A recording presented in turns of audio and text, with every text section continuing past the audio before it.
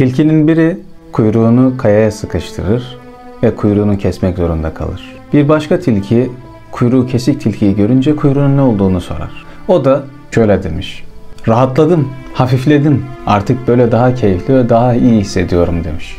Bunu duyan tilki kuyruğunu kesmeye karar verir ve o da kuyruğunu keser. Ama yaşadığı keyif ve lezzet ve rahatlık değil, tam aksine acı ve ızdıraptı. Bunun üzerine sorar. Neden bana böyle söyledin? Kuyruğu kesik tilki de şöyle der.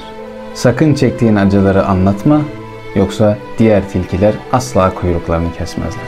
Bu iki tilki diğer tilkilerin yanına gider ve yaşadıkları keyfi ve rahatlığı anlatırlar.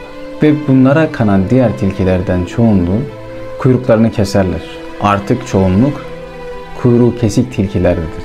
Ve bir müddet sonra kuyruğu kesik olmayan tilkiler ayıplanmaya başlar. İşte bazı insanlar iyiliklerini, güzelliklerini kaybederler ve diğer insanlara o elde ettikleri çirkinliği ve kötülüğü iyi gibi gösterirler. Ve bir müddet sonra iyiler kötüler tarafından ayıplanır ve kötülenir.